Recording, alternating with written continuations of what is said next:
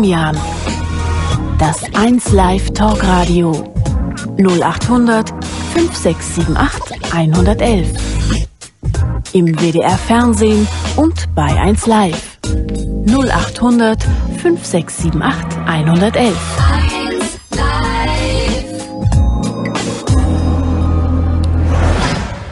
Ja, Freunde, schön, dass ihr da seid. Willkommen bei Domian, willkommen beim 1 Live Talk Radio. Thema heute Nacht bei uns geheime Vergangenheit. Ich möchte gerne mit euch über eure Geheimnisse aus eurer Vergangenheit sprechen. Gibt es große Geheimnisse, kleine Geheimnisse, Geheimnisse, die euch vielleicht bedrücken, die ihr seit vielen Jahren mit euch herumtragt, die ihr noch niemandem erzählt habt oder vielleicht ganz wenigen nur äh, und dass dennoch Geheimnisse geblieben sind. Also wenn ihr mir davon erzählen wollt, über eure geheime Vergangenheit, über Geheimnisse aus eurer Vergangenheit, dann ruft mich an. Telefonnummer 0800 5 678 111 oder faxt mir unter 0800 5 678 110. Der erste Anrufer heute Nacht ist Mark. Guten Ja. Morgen. Ja, guten Morgen, Jürgen. Du bist 52 Jahre alt. 52, 32. 32, oh. Machen wir die älter Nee, entschuldige. Ja, ist kein Thema. Das ist ein Druckfehler hier. ja, um Gottes Willen. ist, ist nur menschlich. Ich dachte auch schon, Moment, er klingt aber noch jung für 52. Ja, ich meine, wenn ich schon so einen alten Tatterkreis und mich noch so jung gehalten habe, dann rufe ich dich nochmal an. äh, Grund, warum ich anrufe. Ja. Folgendes, pass auf. Ähm, ich habe eine aktuelle Freundin, die habe ich seit, äh, Moment, äh, vierten, vierten, offiziell. 4.4.2002. Ja, korrekt. Ja. Und ähm, inoffiziell seit 29.03., seit dem Karfreitag. Ja. Mhm. Und das Wochenende davor äh, war ich noch mit meiner Ex-Freundin auf dem Weg zu ihr nach Hause. Und, und darum geht's, ja. Aha. Also ähm, meine Ex, also ich führe praktisch ähm, oder führte praktisch zwei Beziehungen. Jetzt, damit wir alles nicht alles ganz kompliziert nachrechnen müssen, wie lange führtest du eine Doppelbeziehung? Ja, ähm, eigentlich bis Ja, so ungefähr ne, Ich kann es jetzt schlecht eruieren. Nee, Auf jeden Fall, ähm, so eine Woche, zwei Wochen, äh, ja, äh, ich sag mal äh, drei, vier Monate. drei, vier Monate. Ja. Jetzt verstehe ich zwar die, die Angaben, die Datenangaben am Anfang nicht mehr, aber das müssen wir jetzt auch nicht vertiefen. Wir vertiefen, dass du drei, vier Monate eine Doppelbeziehung hattest.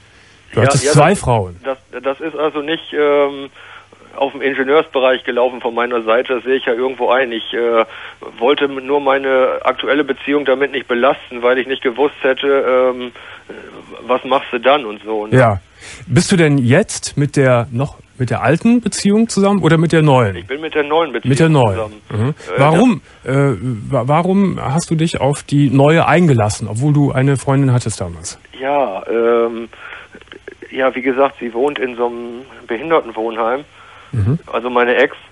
Und ähm, ja, ich sag mal, Ist sie behindert auch? ja, sie, äh, meine Ex ist äh, ja rollimäßig und so. ne? Ja, mhm. Die kann sich nur im Elektroauto fortbewegen, Mhm, eh, Ehestuhl und so. Mhm. Und ähm, ja, ich meine, vom Kopf her ist das wohl ganz normal und vom körperlichen auch und so, ne? Ja. Nur ähm, das Problem ist, ich habe mir praktisch äh, für sie einen Arsch aufgerissen, auf Deutsch gesagt. Und ihre Wohnis haben dann auf meinem Handy angerufen, was ich sehr verwunderlich fand, weil die meine Telefonnummer gar nicht hatten. Jetzt machst du aber einen, einen weiten Ausflug. Die, Ja, die, Frage ja, war, die Frage war ganz einfach. Warum hast du dich auf eine neue Frau eingelassen, obwohl du eine Freundin hattest? Ja, ganz einfach, weil äh, dazu muss ich weiter ausholen dürfen. Ja, aber das kann man auch kompakt sagen. Versuch's mal. Ja, ja ich versuche das mal. ähm, wie gesagt, weil ich den Druck von äh, von ihrem von, mein, von, dem, von dem Wohnheim meiner Ex-Freundin nicht mehr ausgehalten habe. Was haben die denn für einen Druck gemacht? Ja, ähm, Und vor allen Dingen warum? ja, die haben praktisch, äh, ich, ich habe denen irgendwo die Arbeit abgenommen, indem ich sie auf den Pott gesetzt habe, indem ich sie runtergeholt habe und so weiter und in eine Badewanne gesetzt und rausgeholt. Und ähm, ja, dann haben die Wonis immer gesagt, du schadest damit deinem Rücken. Und, also die haben praktisch an meine Gesundheit gedacht. Das ist ehrt die ja natürlich, dass sie an meine Gesundheit denken. Achso, du hast. Du Aber hast auf der anderen Seite muss ich selber wissen, was ich mir zutrauen kann. Und ähm, Hm. wenn die wenn die Freundin Vertrauen in mich hat, Ja. dann setze ich auch voraus, dass das in Ordnung ist. Ich Also meine, ich hab- komische, komische Geschichte. Komische Geschichte finde ich. Ja, ich du, hast das ja- auch du hast ja eine Freundin, die ist behindert, lebt in einem, einem äh, Behindertenheim und die Mitbewohner machen Druck und wollen das Ja, die nicht. Mitbewohner nicht, die, die, die Oberwohnis, also die was Betreuer. heißt, was, du musst mir das erklären. Wohnis sagt mir gar nichts. Was, was heißt Wohnis? Wohnis sind Betreuer oder was? ja, Wohnis sind Betreuer Ah, ja. und B-Wohnis sind, äh, Ja, sagen wir es die mal klar. es Sagen wir bewohnen. sagen sagen ja, Entschuldigung, Jürgen, das war jetzt äh, keine Absicht. Ja. Äh, wie lange warst du denn mit, mit deiner behinderten Freundin zusammen? Ja, das waren drei Jahre. Drei Jahre. Mhm. Äh, also es gab irgendeinen dubiosen Druck. Ja, es, es gab da ständig, hatten die, äh, meine- Hast du denn nicht mit deiner mit deiner Freundin darüber geredet? Dass, dass Ja. die dass die Betreuer da Druck machen, warum auch immer? Ja, das äh, habe ich ja mehrfach versucht, mit ihr anzusprechen. Mhm. Letztendlich hat sie eine Betreuerin gekriegt, also eine gesetzliche Vertretung. Und ähm, ja, Eine gesetzliche Vertretung? Wie, wie warum warum das? Wie, wie, wie alt erstmal wie alt war sie? ja, sie ist 22 geworden. Ja, und warum hat sie einen gesetzlichen Vertreter, wenn sie äh, wenn sie nur im Rollstuhl sitzt? Ja, ähm, au- aus finanzieller Hinsicht. Also, Also, ist schon eine komplizierte Sache bei dir. Jürgen, das ist kompliziert, das weiß ich selber, aber ich will wir, wir verstehen das nicht so richtig. ja, ich, äh, Jürgen, ich will dich nicht auf die Rolle schieben oder so, sprich, ich will dich nicht verarschen. Nee, das ist mir schon klar. Also ich, ich merke nur, dass es ein komplizierter Fall ist, den man vielleicht auch nicht so in ein paar Minuten erzählen kann. Ähm, also das, die, Sendung heißt ja nun Geheime Vergangenheit. Ja, wie gesagt. Ge- geheim und, äh, war, lass mich mal zusammenfassen, geheim war, also dass, dass du über mehrere Monate eine Doppelbeziehung geführt hast. Ja, wie gesagt, und äh, diese Doppelbeziehung, ja, wie gesagt, die verfolgt mich Ja. ab und zu jetzt auch noch, indem Ja. ich dann halt äh, Anrufe oder Mails meiner Ex kriege, Ja, so, dass sie sich praktisch selber einlädt und, und dann, äh, ja, oder halt hier vorbeikommt, wenn ich dann, ja. Ist denn, lass mich das auch noch fragen, ist denn ist, ist, die geheime, geheime Vergangenheit, he- heißt das denn, dass sie das nie mitbekommen hat, deine, deine Ex-Freundin, dass da noch eine andere Frau ist? Ist das bis heute geheim? nein, das ist umgekehrt. Meine aktuelle Freundin wusste bis jetzt nicht, dass, oder weiß immer noch nicht, so. dass ähm, ich halt noch was mit der Ex hatte. dass, dass du noch was mit der Ex hattest, damals, während Ja, dieser klar. Zeit. Mhm. Ja, ja. Und- ja, wie wär's denn mal, wenn du es ihr ganz einfach mal sagst? Ja, ich, ich, ich würde es eher sagen. Aber? Ich will auch aus der Nummer raus, Ja, weil also. äh, die kommt ja per, also meine Ex ruft mich permanent an, hast du dann und dann Zeit? Ja. Aber, aber im Moment läuft nichts so mit der Ex. Nein, Gott Nein. sei Dank. Warum Äh, sagst du es nicht deiner aktuellen Freundin? Ja, wie gesagt, ich Nee, habe nicht halt, wie gesagt. Ich habe, ich habe halt Angst, sie, sie deswegen zu verlieren. Ach Quatsch, wenn das jetzt gut läuft, dann kannst du sagen, pass auf, das tut mir irre leid, dass das damals so war. Äh, Das war aus den und den Gründen, kann man ja auch erklären. Ist ja vielleicht menschlich als menschlich auch, was dahinter steckt. Äh, Und wenn die dich wirklich sehr lieb hat und wenn das gut ist zwischen euch jetzt, dann wird die dir das schon verzeihen. Wenn es dir auch so ein, äh, es ist ja auch ein Anliegen, so habe ich es jetzt verstanden. Ja, auf jeden Hm? Fall. Raus damit, Ja, raus ja, ich, ich will auf jeden Fall irgendwie aus der Nummer raus. Na. Ne? Und da und- kommt man am besten raus, wenn man den Mund aufmacht. Ja, deswegen habe ich dich ja angerufen, Ja. weil ich um Rat fragen wollte. Doch, finde ich schon, Marc. Sag's ihr. Sag's ihr. Es ist ja auch schon eine ganze Weile zurück. Und es war so in den Anfängen. Und wenn du es einfach alles so schön erklärst, ausführlich und damit sie das auch versteht, mach es sehr ausführlich, äh, dann ist es, glaube ich, in Ordnung. Okay? Ja, gut, Jürgen. Lieber Marc, 52 Jahre alt. Ja, All- alles, der- nein, der 32. Ne? Der Rentner, genau. Alles Gute. Ja, alles klar. Tschüss. Tschüss. So, ihr Lieben, unser unser Thema heute Nacht heißt geheime Vergangenheit. Gibt es in eurer Vergangenheit Geheimnisse, große Geheimnisse, die ihr mit euch herumtragt, die euch vielleicht auch sehr bedrücken, die schwer für euch sind, für die Vorkommnisse, für die ihr euch vielleicht auch schämt? Dinge, die ihr nie jemandem erzählt habt und über die ihr eigentlich gerne mal reden wollt. Dann ruft mich an. Telefonnummer 0800 5678 111 oder Faxnummer 0800 5678 110. Danny oder Danny ist bei mir und der oder die ist 17. Ja, Eine die. eine die, Eine eine die. Dani. Dani. Dani, 17 Jahre. Geheime, geheime Vergangenheit, Dani. Ja, geheime Vergangenheit. Ich bin vor etwas mehr als einem Jahr vergewaltigt worden Mhm. und hab's bis jetzt so gut wie niemandem erzählt, außer zwei sehr, sehr guten Freunden. Mhm. Was ist denn da genau vor einem Jahr passiert? Magst du das mal erzählen? Ja, es ist, ich war bei meiner besten Freundin gewesen, Mhm. wo ich sehr, sehr oft bin und ja, ein guter Freund hatte mich dann spät abends noch eingeladen, mit ihm in seinen Geburtstag reinzufeiern und hatte mich dann auch auf den Weg gemacht, musste auch durch den Park durch. Mhm. Und zu dem Zeitpunkt saß ich schon im Rolli. Ich hatte einen schweren Verkehrsunfall. Mhm.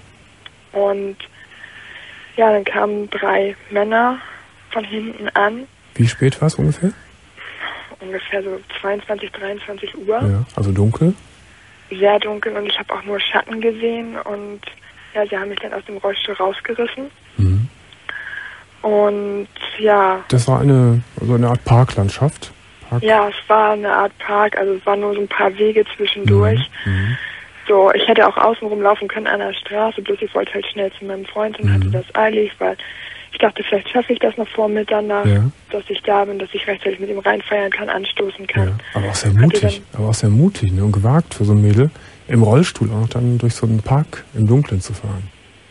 Ich fahre also fahr da mindestens einmal die Woche durch und es war nie was passiert Ja, ja. So, auch dann, zu der Uhrzeit. ja, dann kam, hast du Schatten gesehen, zwei, zwei, zwei Typen, zwei Männer, Drei, drei. drei. Mhm. Und dann? Und ja, zogen mich dann aus dem Rollstuhl raus und erstmal haben sie mir die Hände festgehalten. Also und als die Hände dann außer Gefecht waren, konnte ich mich dann gar nicht mehr wehren, Mhm. weil ich bin ab fünften Lendenwirbel querschnittsgelähmt. Bitte? Ich bin ab fünften Lendenwirbel querschnittsgelähmt Ja, ja. und konnte mich dann gar nicht mehr wehren, weil sonst habe ich nur meine Hände zur Wehrmöglichkeit. Mhm.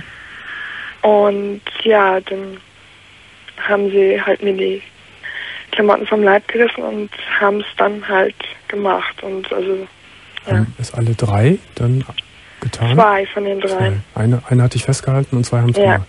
Mhm. Hast du die Männer ansehen können? War es hell genug dafür? Nein, ich habe nur Schatten sehen können. Auch während des, des Vorgangs konntest du nicht ins Gesicht gucken? Nein.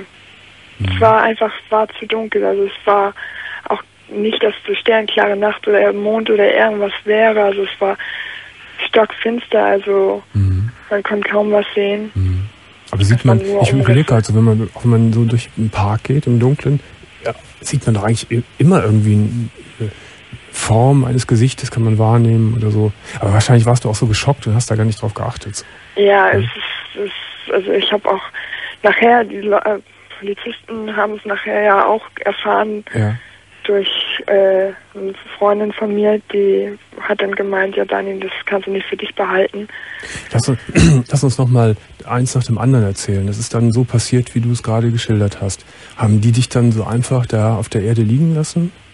Ja, sie haben mich dann liegen lassen nach knapp, ja, weiß nicht, mein Zeitgefühl war das schlecht, also ich würde sagen knapp eine Stunde vielleicht. Mhm. War, war ich dann wieder halbwegs bei mir und ähm, habe mich dann mit Hilfe meiner Arme zurück in meinen Rollstuhl gezogen. Das ging, das konntest du. Mhm. Das konnte ich. War also zu dem Zeitpunkt schon so mit den Armen trainiert, dass ich Mhm. alles, was ich mit den Beinen nicht konnte, mit den Armen ersetzen konnte. Hast du während, während des Vorgangs, während der Vergewaltigung auch Angst um dein Leben gehabt? Haben die dich bedroht oder haben die dich Ich habe ständig gewürgt? Angst um mein Leben gehabt, Mhm. weil ja, es ist einfach hier, es passiert auch ständig so viel, auch hier in der, im Umkreis sehr viel. Mhm. Und man hört es immer wieder Mhm. und da hatte ich unheimlich viel Angst, weil ich dachte, ja, Haben, so, die, haben die etwas gesagt währenddessen? Nee, also die haben nur ganz leise äh, unter sich getuschelt, Mhm. aber Mhm. wirklich mitbekommen habe ich nichts. Jetzt hast du dich wieder mit eigener Kraft in den Rollstuhl reingerobbt und hochgezogen. Was, Mhm. was passierte dann? Ja, ich äh, habe dann so gut ich konnte ähm, ja, meine Kleidung wieder angezogen, sofern sie noch heil war Mhm. und bin dann nach Hause. Zu dem Freund bin ich nicht mehr hingefahren Ja. und ja, als ich zu Hause war, bin ich dann nur noch in mein Zimmer und in mein Bett und habe geheult ohne Ende. Und meine Eltern haben davon nichts mitbekommen, weil die haben ihr Zimmer weiter oben. Mhm. Und Mhm. Dann, ja, Jetzt hast du gerade, habe ich einfach in mich reingefressen. ja, aber die Polizei war irgendwie im Spiel, hast du gerade gesagt. Ja, ich habe nach ungefähr einem halben Jahr, hatte ich es halt meiner Freundin auf Drängen erzählt. Mhm. Und ähm, sie hat es dann der Polizei erzählt und die sind da auf mich zugekommen. Ach so. Mhm. Aber ansonsten, ich habe auch der Polizei gesagt, also sie wollten es meinen Eltern sagen. Mhm. Und Also im Ja. Moment wissen das, die Polizei weiß das und diese beiden Freund, Freundinnen wissen das von Ja. dir. Mhm. Äh, geht die Polizei denn dieser ganzen Sache nach? Sie gehen nach, aber sie können dann nicht viel machen, weil halt es fehlen Gesichtsbeschreibungen oder Stimmbeschreibungen und Mhm. Ja. also viel können sie da nicht tun. Und äh, die Polizei wollte das deinen Eltern erzählen und du hast gesagt, du möchtest das nicht? Ich habe gesagt, ich möchte das nicht, weil Mhm. es ist auch einfach so, ich weiß nicht, wie meine Eltern reagieren. Welche Vermutung hast du denn, wie deine Eltern reagieren könnten eventuell? Also ich kann mir vorstellen, weil, also vor allem mein Vater ist sehr religiös, dass mein Vater total ausflippen würde. Ausflippen in dem Sinne, dass er dir eine Schuld gibt oder dass er Ja, eine gewisse Mitschuld, denke ich schon. Und was meinst du in, was meinst du inwiefern er das tun könnte?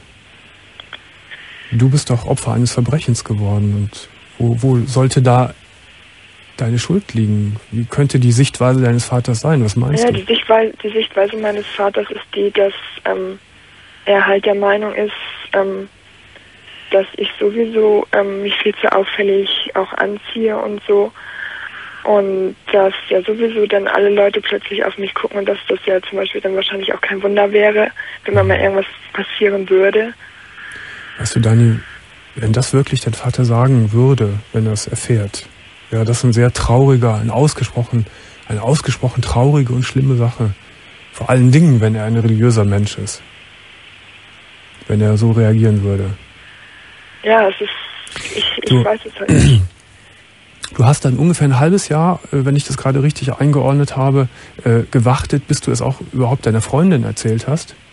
Ja, sie hat, also nachher auf starkes Drängen habe ich ihr Mhm. das erzählt, weil sie halt gemerkt hat, dass mit mir etwas nicht stimmt. Mhm. So, nun ist ein Jahr ungefähr vorbei, sagst du, ne? Ungefähr vor einem Jahr war das. Ja. Äh, Ich könnte mir vorstellen, äh, ich glaube, niemand kann das wirklich ermessen, der nicht so etwas durch, durchlitten hat, aber ich versuche mich da mal reinzudenken, äh, dass diese Todesangst und diese Erniedrigung und diese Verletzung, die dir zugefügt worden ist vor einem Jahr, dass du die permanent im Kopf hast. Ja, die ist, die ist ständig da. Also teilweise traue ich mich nicht raus. Mhm. Vor allen Dingen abends, wenn es dunkel ist. Mhm. Nur noch, also mit Freunden zusammen, also immer Ja. mindestens zu zweit, zu dritt. Ja. Aber alleine so gut wie gar nicht mehr. Das glaube ich sowieso, dass du große Angst hast, rauszugehen. Aber ich meine auch so für dich alleine, für, für in deinem Inneren, dass du ständig äh, dich damit beschäftigst oder dass die Erinnerungen hochkommen oder dass du vielleicht sogar davon träumst. Das ist also ständig an der Tagesordnung. Es Mhm. ist, äh, jetzt seit Ende Oktober habe ich auch einen Freund. Okay, er kommt ziemlich gut damit zurecht. Er ist der zweite Freund, der davon weiß. Und es ist aber auch extrem schwer und es ist für ihn auch schwer, damit zurechtzukommen. Also er weiß es auch. Er weiß es auch, weil er hat es natürlich auch gemerkt, weil Mhm. Mhm. ja, wir kamen uns dann näher und dann auf jeden Fall hat er es dann gemerkt, weil ich panisch reagierte. Ich fing mit mal an zu zittern am ganzen Körper und Ja. hatte natürlich auch gemerkt, irgendwas ist mit ihr Mhm. los und Aber da sind dann doch noch ein paar Leute mehr, als du es anfangs gesagt hast, die darüber nee, nur zwei, nur zwei, also mein jetziger Freund und meine beste Freundin. Ach so, ach so. Und der Freund davor, der, da, dem hast du das nicht gesagt? Nein, Nein. Mhm. dem habe ich gar nichts gesagt. Mhm. Mhm. Weißt du, Dani, ich bin ja der festen Überzeugung, wenn einem so etwas widerfahren ist, dass man, äh, dass das Allerbeste, was man tun sollte, ist, dass man sich richtig professionelle Hilfe sucht. Ähm, ich weiß jetzt nicht, ob es unbedingt richtig ist, sofort deinen Eltern Bescheid zu sagen, vor allen Dingen, weil du diese Bedenken hast. Ich kann dein Elternhaus nicht einschätzen. Aber was ich auf jeden Fall weiß und was richtig wäre, ist, wenn du zu einem Psychologen gehen würdest oder zu einer Psychologin, der dir dabei hilft, mit diesem Schock, mit diesem schrecklichen Erlebnis umzugehen, damit fertig zu werden, das in irgendeiner Weise für dich zu be aufzubereiten, zu verarbeiten. Verstehst du? Ja, Ich würde dir gerne ein bisschen behilflich sein dabei oder wir. Äh, Und ich würde dir gerne gleich meine, Psych meine Psychologin geben. Die, die Anna ist heute Nacht hier. Und die könnte dir dann vielleicht auch die ein oder andere Anschriftadresse geben, wohin du dich wenden solltest. Und dann kannst du das, könntest das, du könntest du das in aller Ruhe mit deinem Psychologen auch besprechen, wie du mit deinen Eltern vorgehen sollst. Ich möchte jetzt nicht leichtfertig dich da in, da in ein Outing reintreiben. Vielleicht ist es wirklich nicht so gut. ja, Ja? Also, du legst mal auf und Anna ruft dich wieder an. ja, Und ist okay. guck mal, ein Schritt nach außen ist ja jetzt auch der Anruf hier gewesen. Ne, das ist ja auch schon mal eine, eine, eine wichtige Sache, glaube ich, für dich. Oder eine Überwindung hat das gekostet. Ja, es hat eine Zeit lang gedauert. Also Mhm. es, es war schwer, das ich dachte mir, irgendwann muss es so oder so. Genau, ich finde das auch. Das ist jetzt noch alles hier ganz anonym und ich bin ganz weit weg und sehe dich nicht. Aber es ist ein erster kleiner Schritt. Und darauf sollten jetzt noch weitere Schritte folgen, damit du wieder so einigermaßen mit deiner Seele und deinen Gefühlen so wieder ins Gleichgewicht kommst. Und da bist du nämlich draußen aus diesem Gleichgewicht. Ja, Leg mal auf, wir rufen gleich wieder an. okay. Alles Gute. Danke. Tschüss. Tschüss. Jetzt begrüße ich herzlich Hedi. Und Hedi ist 61 Jahre alt. Guten Morgen. Hallo Jürgen. Hallo Hedi. Ich grüße dich. Ja. Zunächst mal ein Kompliment für deine Sendung. Danke sehr. Ich gucke die so oft und habe schon so oft versucht, zu unterschiedlichen Themen durchzukommen. Kompliment, wie du das machst. Und heute bist du durchgekommen. Na, Zu diesem spannenden Thema geheime Vergangenheit. ja, ja. Bin ich aber gespannt, was du erzählst aus deiner Vergangenheit, was ganz, ganz geheim ist. Naja, ich hoffe bloß, dass mir keiner zuhört hier. Weißt du? nee, wir sind hier ganz unter uns. Ja, ja, ich weiß. Und ein paar Millionen hängen am Also, meine Tochter ist nicht von meinem Mann. Ja. Gut, so weit, so gut. Das wird sicher ganz auf viele Menschen zutreffen. Wie alt ist deine Tochter? Sie wird 41. 41. Hm, 41. Logisch. Und sie äh, weiß es bis heute nicht. Und Sie- ich werde den Teufel tun, es ihr erzählen. Wer ist denn der Vater von der Tochter? Der Freund äh, meines Mannes. Der Freund des, deines Mannes. Weiß denn der, der Freund, dass er eine Mhm. Ja. Tochter hat? Der weiß das. Ja. Weiß denn dein Mann auch? Nein. Dein Mann denkt, das ist seine Tochter. Ja, Das ist ja auch Wahnsinn. naja. Du, wenn du rumfragst in der Republik, passiert das unheimlich oft. Ja, das passiert schon oft. Aber wenn man so so äh, Wissender eines solchen Geheimnisses, ist, so wie du jetzt, ist Schrecklich. ja, das denke ich mir auch. Das ganze Leben musst du ja, hast du das so im Hinterkopf und musst auch lügen letztendlich. Ja, den Mund halten. Den Mund halten, ja. Das Wenn du Ähnlichkeiten siehst, Mund halten. Mhm. Jetzt hat meine Tochter ein Kind. Und sie sucht nun äh, nach Ähnlichkeiten. Sucht Mhm. bei ihrem Vater. Das kann sie nicht finden. Ja, also da ist keine Ähnlichkeit mit dem Opa, da ist nichts da. Richtig. Der der Freund von deinem Mann, Ja. äh, hat der sich denn um, um das Mehl gekümmert? Nein, äh, um Gottes Willen nicht. Hätte ja sein können, ne, ich meine so freundschaftlich, dass es eine äh, Beziehung zwischen den Familien gab, irgendwie Nein, nein. gar nichts. Also Nein, den, den gibt es gar nicht in eurem Leben mehr, diesen Nein. Freund. Mhm. Niemals mehr. Und weißt du, äh, interessant ist eine Entwicklung, die ich nicht für möglich gehalten habe. Dieser Mensch war ein Hypochonder. Mhm. Und meine Tochter ist da doch. Das ist auch verrückt. Das ist ja verrückt. Also- Hat, hat sie denn, ist ja so eine sehr spannende Sache, muss ich sagen. Hat, hat sie denn, nein, hat er, hat, hat der Vater, der wirkliche Vater deiner Ja. Tochter, hat er das Mädel irgendwann überhaupt mal gesehen? Äh, als Kleinkind, Mhm. als äh, Baby fast. Aber danach nie mehr. Und wann ist der Kontakt eingeschlafen zwischen den beiden Männern, die Freundschaft? Ja, auch alsbald. Auch dann in der äh, Zeit. So drei Jahre, vier Jahre ungefähr. Weißt du, ob, ob der, der äh, Vater überhaupt noch lebt von deiner Tochter? Ja, ja, der lebt noch. Ja, ja. Mhm. Das weiß ich. Siehst du den zufällig irgendwo schon mal? Nein. Ihr wohnt weit auseinander. Nö, wir wohnen in der gleichen Stadt, aber Ach so. Weißt du, den Kontakt gibt es nicht immer in so einer Großstadt, ne? Ist klar, ja, ja. Äh, war er denn damit auch einverstanden, dass äh, der, der Mantel des Schweigens darauf gelegt werden sollte? Ja, sicher. Er war verheiratet, Mhm. hat drei Kinder damals gehabt. Der war natürlich dankbar. Äh, Ja. Dass du das auch so Ja. geha- gehandelt hast. Ja, ja, Bist du denn damals, dein Mann, äh, wart ihr da schon verheiratet? Nein, wir waren noch nicht verheiratet. Das war also so eine merkwürdige Geschichte. Wir waren äh, zusammen Mhm. in einer Gesellschaft und dann hatte ich mit meinem späteren Mann Krach und der hat mich dann geschlagen und dann bin ich gefallen und dann musste ich genäht werden am Kopf. Mhm. Ja. Weil ich da eine große Wunde hatte im Krankenhaus und sieben Stiche am Kopf.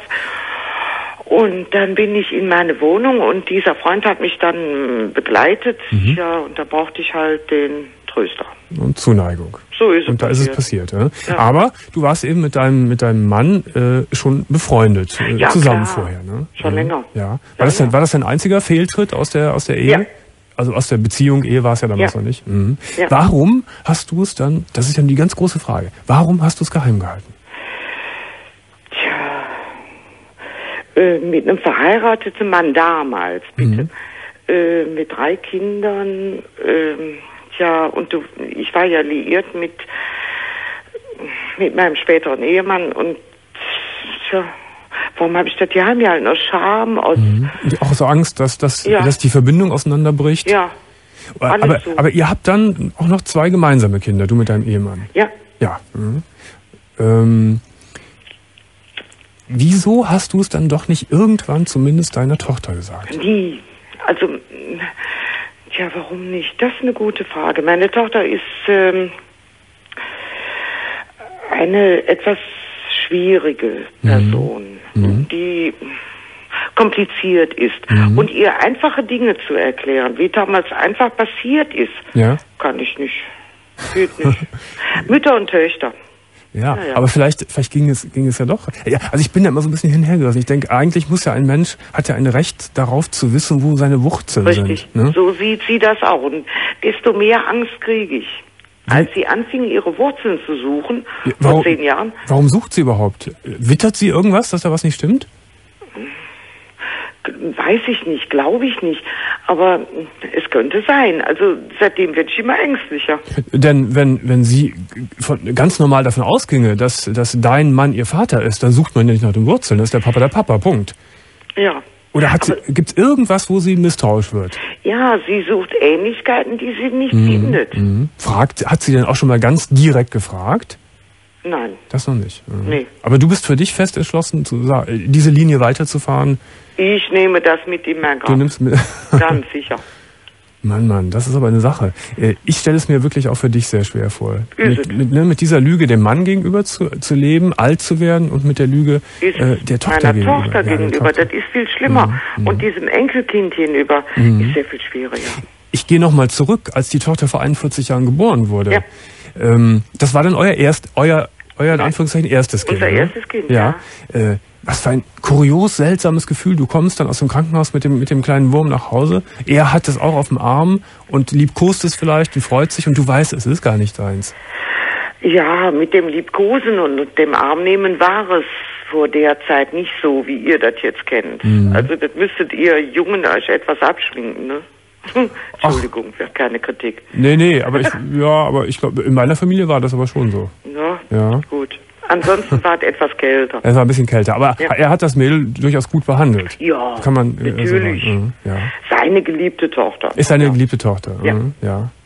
Ja, ich will dir da jetzt auch nicht reinreden. Äh, das ist jetzt deine Lebensentscheidung gewesen. Und wahrscheinlich würde jetzt alles, alles zu einer Katastrophe führen, wenn du es sagen würdest. Ja. Ne? Also, wenn sie zuhört heute Abend, haben wir die Katastrophe. Ja, ich finde es auch gewagt von dir anzurufen, muss ich Richtig. sagen. Mhm. Wobei, äh, es vielleicht gar nicht so schlecht wäre, wenn, wenn es jemand erfährt, dass zumindest sie es erfährt.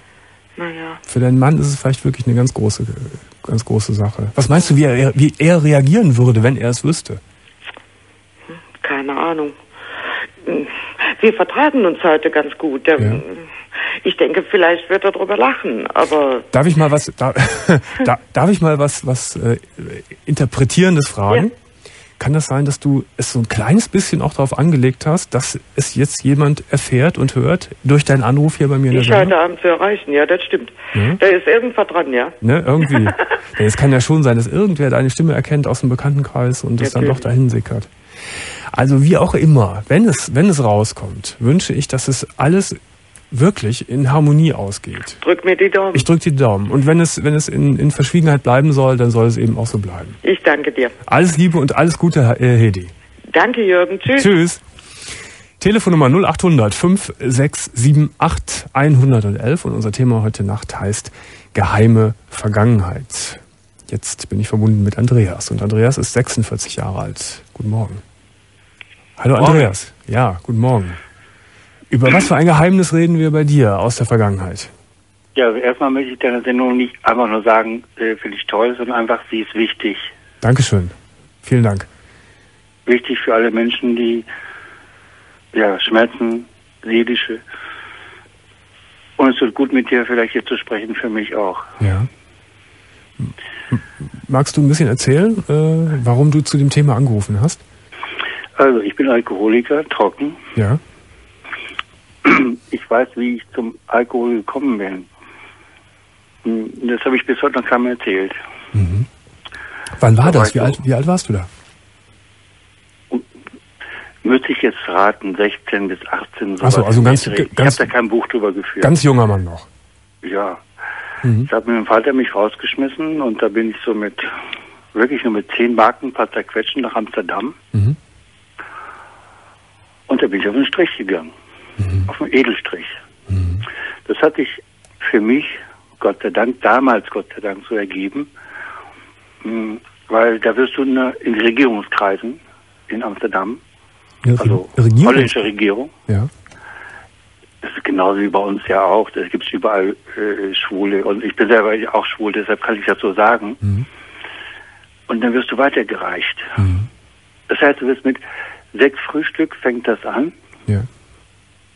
Und dann musst du dann oder musste ich damals halt mit dem einen oder anderen auch zum Essen gehen und Mhm. das wurde da man es ganz anders gehandhabt, halt wie man es heute hier kennt. Das war damals schon viel weiter Ja.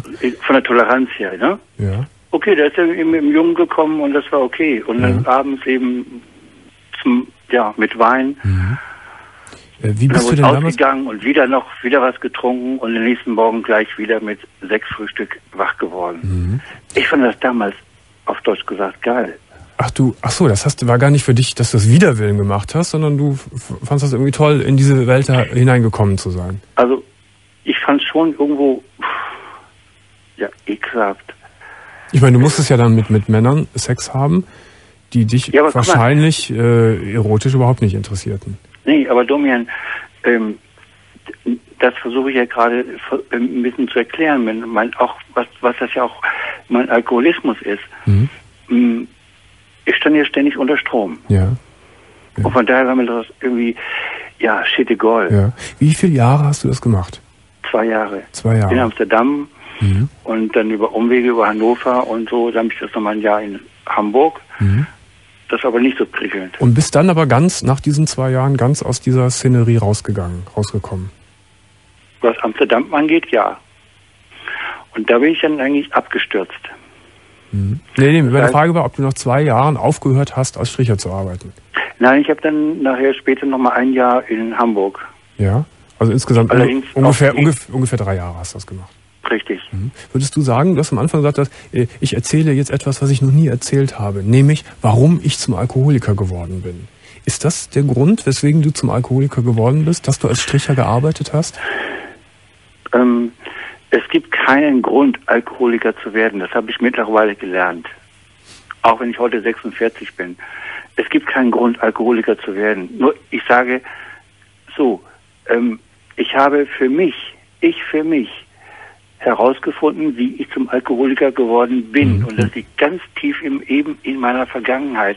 Ich habe ja seitdem eigentlich nur noch ja, getrunken Ja. und, Und- später und du nur meinst- noch gesoffen. Ja. Und du meinst, dass, dass diese, diese Sache, dass du nämlich als Stricher gearbeitet hast, dass das der Grund war, dass du dich dahin entwickelt hast zum Alkoholiker? Ich glaube schon. Ja. Ich glaube, wenn ich Mhm. die zwei Jahre in Amsterdam und dann, Also, aber das, das, das sagt ja Andreas, dass es dir und auch deiner Seele und deinen, deinem, Gef- deinen Gefühlen äh, extrem geschadet hat und du die Flucht gesucht hast im Alkohol, die Betäubung gesucht hast im Alkohol. Betäubung, ja. Betäubung, ich, ja. Ich, ich sag mal, da waren ja so, ich weiß nicht, wie, wie, wie weit offen ich da jetzt so äh, über Sender reden darf. Ja, keine Namen bitte, ne?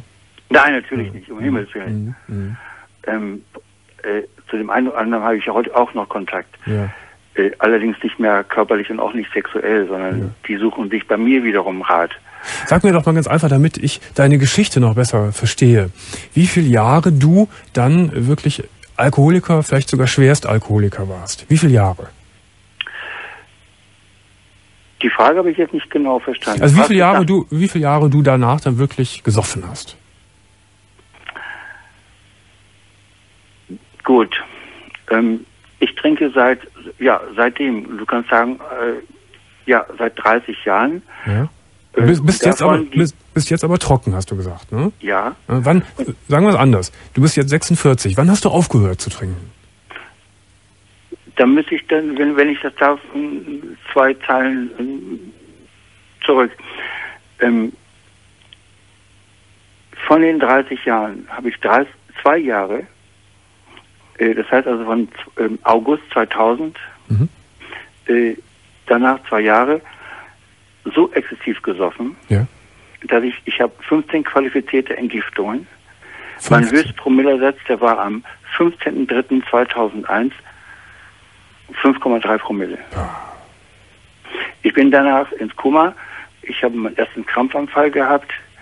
Ich bin mit Schmerzen aufgewacht und es ist ein Scheißspiel. Mhm. Und danach habe ich nochmal drei Krampfanfälle, zwei schwere Delire. Das heißt also von den, ja, die letzten zwei Jahre, wenn du so willst. Letzten- Abzüglich jetzt dem Ja. einem Jahr, wo ich trocken bin, davor. Äh, es ist ein Scheißspiel. Also eine, eine, Sucht. eine irre, eine irre äh, Alkoholkarriere hast du gemacht. Über Jahrzehnte, kann man sagen. Ich habe es nur nicht wahrhaben wollen. Mhm. Und das ist das eben. Ähm, ich habe kapiert und gelernt, wie ich zum Alkohol gekommen bin. Mhm. Und das ist eben die Zeit Amsterdam. Ich Ja. verurteile keinen. Nein, Ja, kann ich doch gar nicht. ja. So. Aber es wird hier immer mehr und mehr und mehr. Und das hatte ich 30 Jahre, ich sag mal, so ein bisschen so die Waage, so, naja, mal mehr, mal weniger. Mhm. Und die letzten zwei Jahre von meiner Alkoholkarriere habe ich am Tag, wirklich fast zwei Jahre pro Tag, drei bis vier Flaschen Korn getrunken. Unglaublich. Unglaublich, dass ein Mensch das aushält. Ich Unglaublich. muss, ja, nein, das ist ganz einfach, Domian, das ist ganz einfach zu erklären. Heute trinkst du eine Flasche. Mhm. Morgen sind es eineinhalb. Ja, die Steigung ist mir schon klar, aber ich wundere mich, dass, dass hinterher der Körper das überhaupt aushält. Jetzt Und hast- ich habe nur noch eine Niere. Das auch noch. Jetzt bist du ein gutes Jahr, kann man sagen, ne? anderthalb Jahre trocken. Ja, was man nicht, was man nicht machen darf, habe ich auch gelernt. Mit den beiden Fäusten in der Tasche zu sagen, ich will nicht, ich will nicht, ich will nicht. Nein, ich sage ganz einfach, ich möchte nicht. Geht es dir denn jetzt im Moment, heute, aktuell einigermaßen gut? Nein, mir geht's beschissen. Dir geht's beschissen. Mir fehlt mein Freund. Mhm. Wir waren fast 20 Jahre zusammen. Ich bin noch alleine in der Wohnung. Er ist ausgezogen. Ja. Hast du eine Arbeit?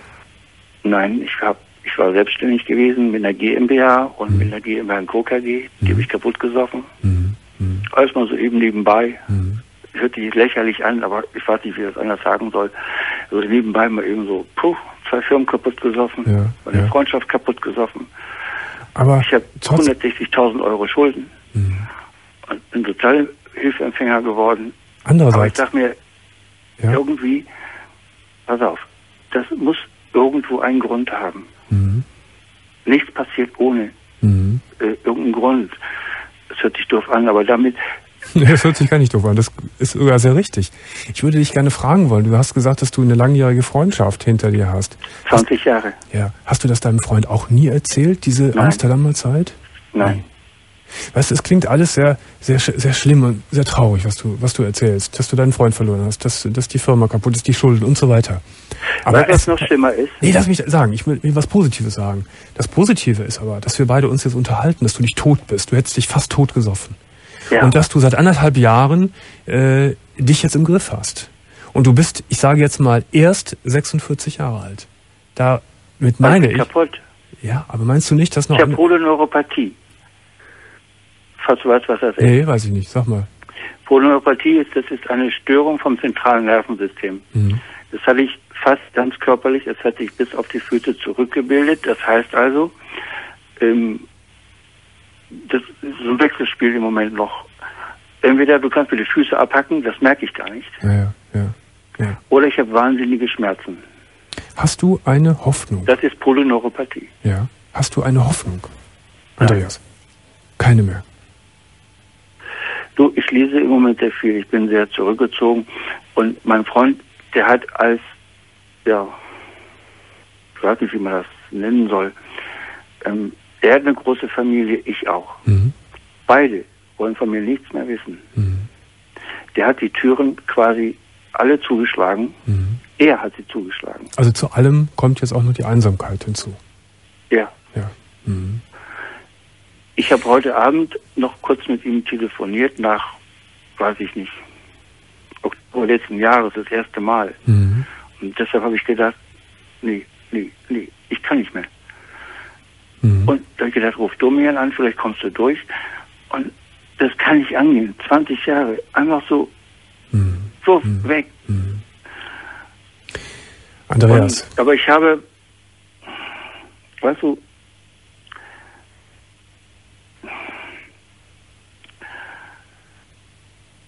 wem soll ich denn das alles erzählen? Mhm. Aber du musst reden. Ja, ich bin bei den Guttemplern. Ja. Also ich habe schon Selbsthilfegruppen, gehe ich auch hin. Ja. Und weißt du, ich Andreas, komme immer nicht mehr klar damit. Andreas, weißt du, was ich jetzt gerade, ich empfinde gerade so ein bisschen eine Bedrückung. Ähm, du hast mir so viel erzählt und auch so viel anvertraut und hast sogar jetzt im erst, zum ersten Mal in deinem Leben das von Amsterdam erzählt, was ja auch eine große Überwindung ist. Ich werde dir jetzt hier in dieser Sendesituation nicht gerecht. Das schaffen wir nicht in den Minuten, Doch, die ich möchte aber eins bitte noch, wenn ich darf, sagen. Ja.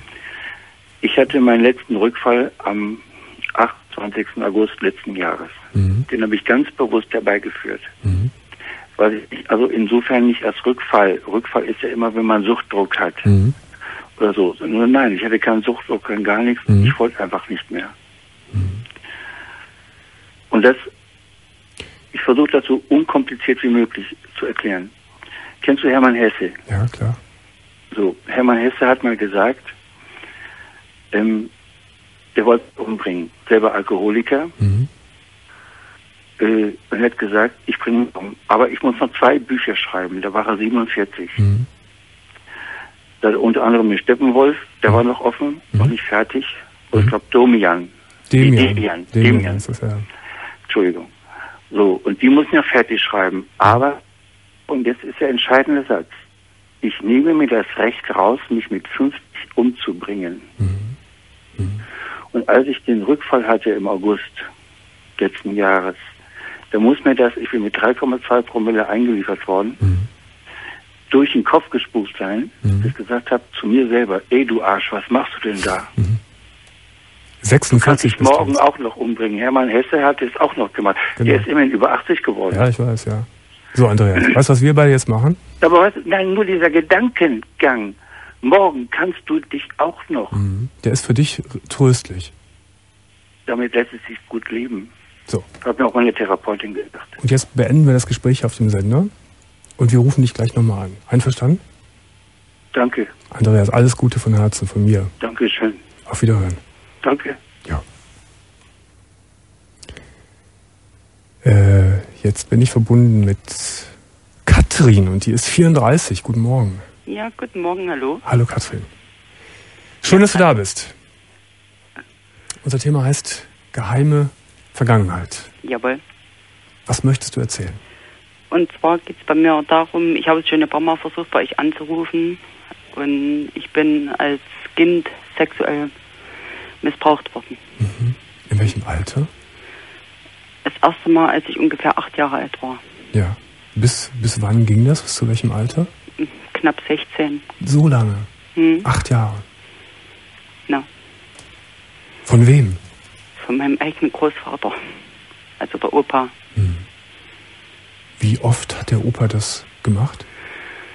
Äh, eigentlich zu jeder Gelegenheit, die er hatte. Das heißt also, diese acht Jahre, in denen das passiert ist, du könntest gar keine Zahlen nennen, wie oft das geschehen ist. Nee, nee, kann ich wirklich nicht. Weil Hat- das ist so oft passiert, Hat er dieses kleine Mädchen von acht Jahren vergewaltigt?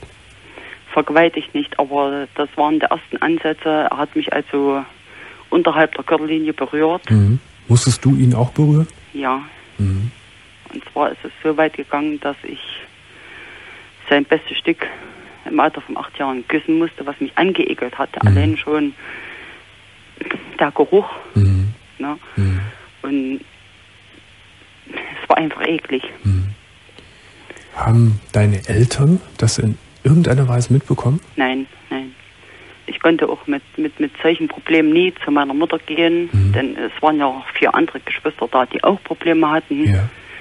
Und Hat denn der Opa auch gedroht? Hier, wenn du da was sagst, ja, dann. der, hat- der hat immer gesagt, ja, wenn du irgendwas der Mama sagst oder der Mutti, dann streite ich alles ab, die glaubt dir sowieso nicht. Mhm. Und, und das, das war alles irgendwie verzwickt. Das heißt, während dieser schlimmen acht Jahre hast du niemandem etwas davon erzählt? Nie. Keine. Freundin, keinem Lehrer, gar nichts. Niemanden. Nichts, gar nichts. Mhm.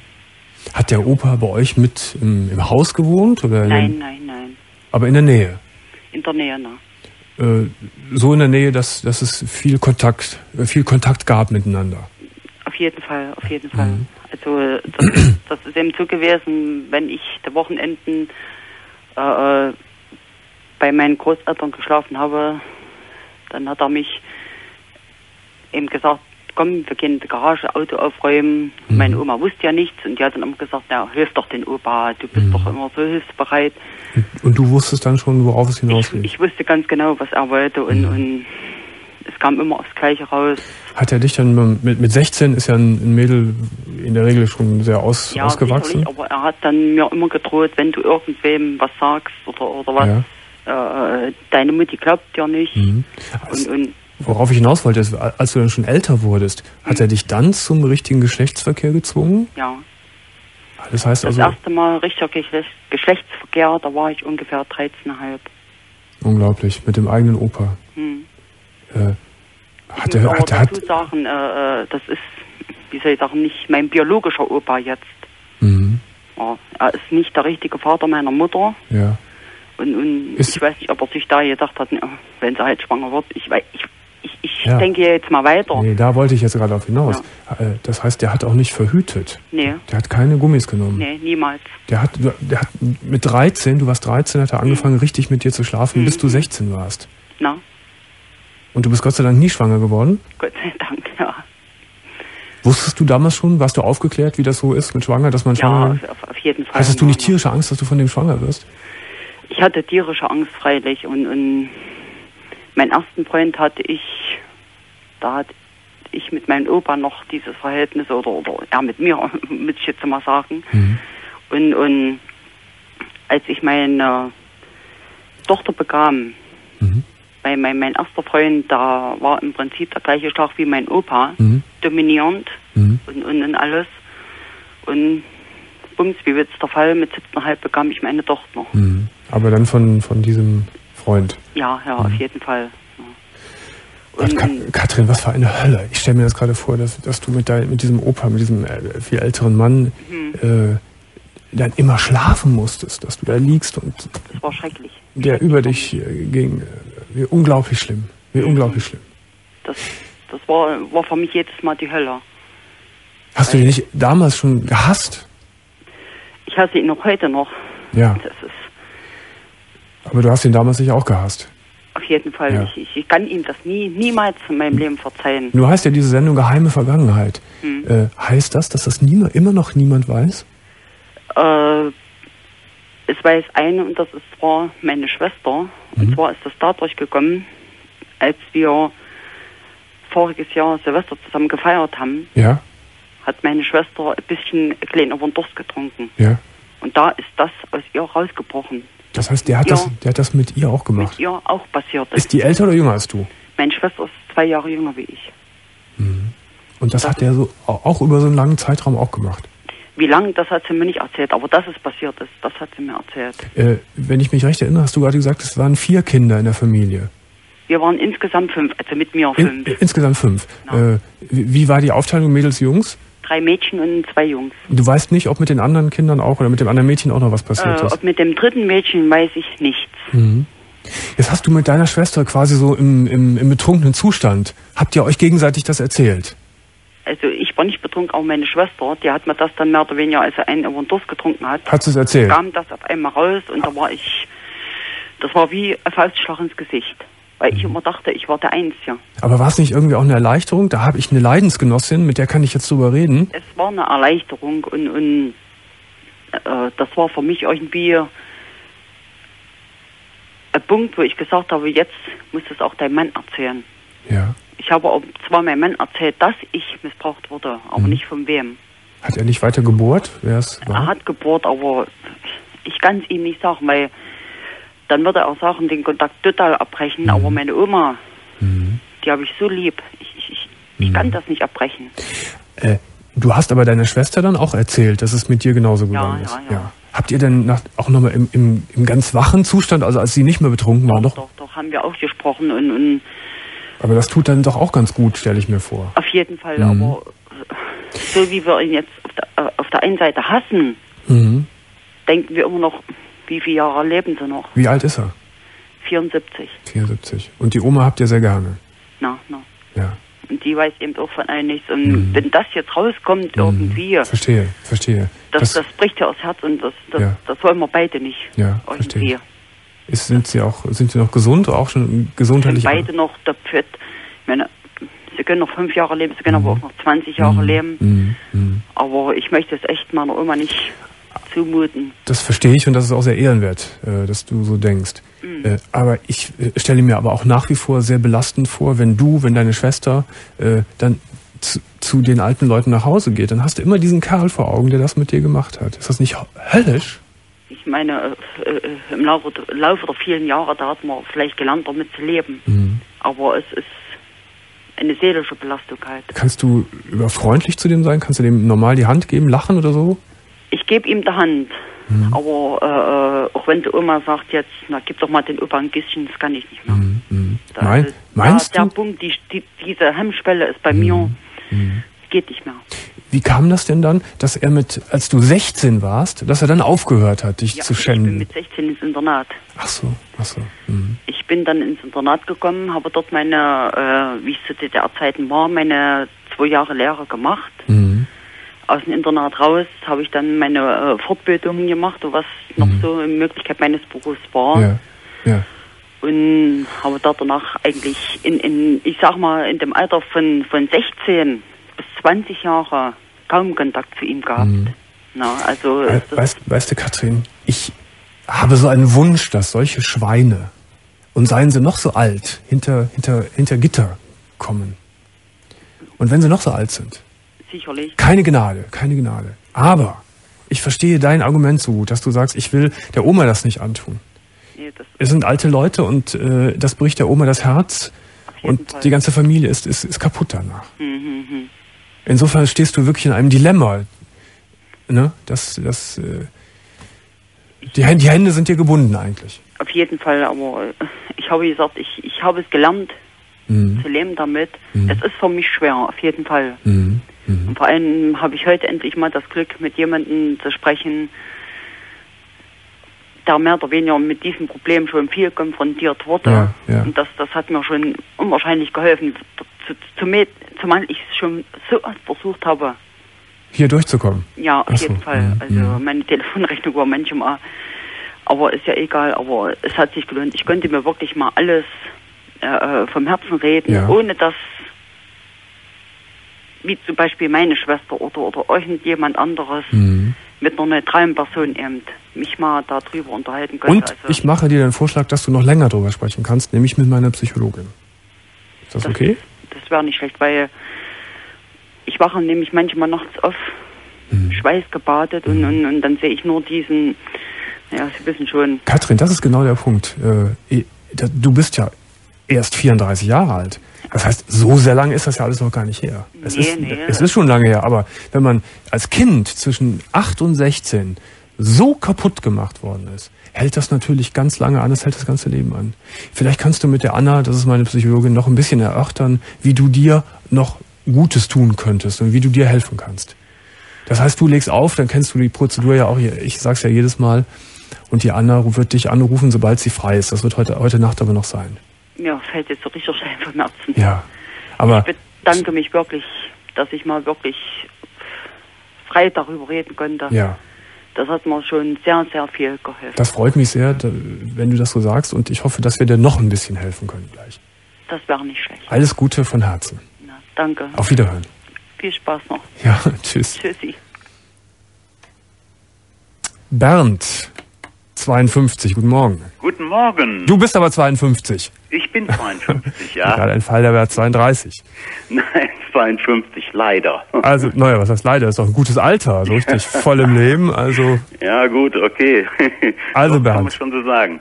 zum Thema Ja, geheime Vergangenheit. äh, geheime Vergangenheit. Ja. Ich ähm, habe, äh, ich bin bisexuell und ich habe das gemerkt ähm, so im Alter von rund 20. Mhm. Mh, habe das äh, eigentlich immer verdrängt, äh, hatte dann mal die eine oder andere Affäre. Ähm, in der ersten Ehe habe ich da also gar nichts drüber verlauten lassen. Ähm, ich bin jetzt in der zweiten Ehe seit zehn Jahren verheiratet Mhm. und ähm, meine Frau wusste also auch noch nichts davon, bis auf, wo ist ja Ende September, da waren wir in Urlaub. Mhm. Und ähm, ich hatte da, mh, naja, seit einigen Monaten schon eine Affäre mit einem sehr, sehr netten Mann. Achso, es lief also immer parallel auch was. zu Ja, dem- ja, ja, ja. Das lief also immer parallel was, aber Ja. man war das also sehr, sehr schwer, also geheim zu halten. Waren das, waren das, äh, war das wirklich so eine Liebesaffäre oder nur eine Sexaffäre? Mm, Ja, es war erst immer eine Sexaffäre, aber dann wurde es also ganz schnell also auch eine Liebesaffäre. Äh, wobei ich Liebesaffäre mh, so ein bisschen, naja, also es war doch mehr Sex, aber Liebe war also mit Sicherheit auch dabei. Ja. Ähm, ähm, aber äh, der, das, das wurde also immer äh, mehr zu einer Liebesaffäre nachher und irgendwann, ähm, wie gesagt, Ende September war das im Urlaub, da habe ich also meiner Frau gesagt, also du pass mal auf, ich habe da also auch noch eine Affäre mit einem Mann. Und äh, die ist also aus allen Wolken gefallen das und ähm, äh, war also erstmal schockiert ohne Ende. Also erstmal, dass er eine Affäre ist und dann, dass es auch noch mit einem Mann ist. Ja, richtig, ganz genau, Ja. ganz genau. Und ähm, äh, dann äh, haben wir also ganz, ganz viel darüber gesprochen und das äh, hat mir auch ganz, ganz viel geholfen oder uns ganz, ganz viel geholfen. Ähm, haben wir ganz viel äh, darüber diskutiert, warum, wieso, weshalb. Äh, wir sind dann nachher drauf gekommen, dass wir gesagt haben, okay, ähm, äh, man sollte dann vielleicht mal so ein Dreier-Treffen machen, um man sich überhaupt mal kennenzulernen. Äh, das haben wir dann auch getan. Ähm, Wie und, mutig. Äh, ja, war ja war mutig und ähm, naja, letztendlich ähm, sind wir ganz mutig gewesen, weil wir drei uns also sehr sympathisch gewesen sind. Mhm. Äh, es ist mittlerweile also eine sehr sehr äh, nette Freundschaft und auch darüber hinaus was geworden zu dritt. Ach, Ja. na das ist ja ganz schräg. Wie, alt, wie alt ist dein Freund? Oder euer Äh, Freund? Der, der wird jetzt 50. Der wird 50, also so Ja. in deinem Alter ungefähr. Ja, richtig. Er- Er ist aber nicht äh, liiert irgendwie. Er ist nicht verheiratet. Äh, doch, doch, auch. Auch? Ja, ja, ja, ja, ja, ja. Das ist also. Weiß denn die Frau Bescheid? Nein, nein, nein, nein. Die weiß nicht Bescheid? Nein, nein, ich weiß nicht Bescheid. Aber ihr drei habt jetzt quasi ein, ein Verhältnis miteinander. Äh, richtig. Also dein Freund, deine Frau und du. Mhm, ganz genau.